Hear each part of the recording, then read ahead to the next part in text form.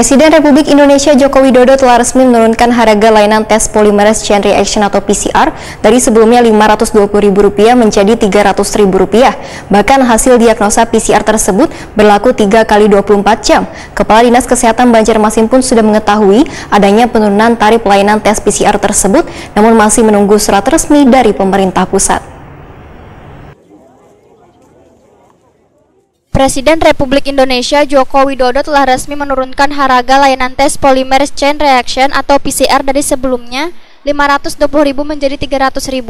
Bahkan hasil diagnosa PCR tersebut berlaku 3 kali 24 jam. Menanggapi permasalahan ini, Kepala Dinas Kesehatan Banjarmasin, Dr. Mahli Riyadi SHMH, Wahid Takuni Prima TV kemarin Rabu 27 Oktober 2021 memadahkan sudah mengetahui adanya penurunan tarif layanan tes PCR tersebut namun masih menunggu surat resmi dari pemerintah pusat. Menurut Mahli Riyadi, pada dasarnya pemerintah kota sudah siap untuk menjalankan perintah dari pemerintah pusat, tapi masih menunggu instruksi tertulis yang mendasari adanya kebijakan dari instruksi presiden tersebut.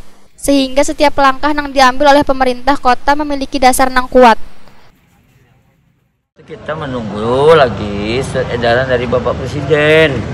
Ya kalau secara lisan, ya kita lisan juga bahwa kita akan mengikuti apa yang dikatakan presiden.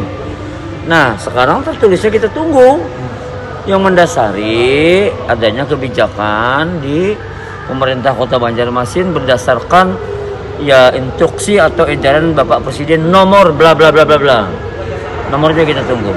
Berarti masih harga 500 Ya, masih harga itu karena kita menunggu yang tertulis.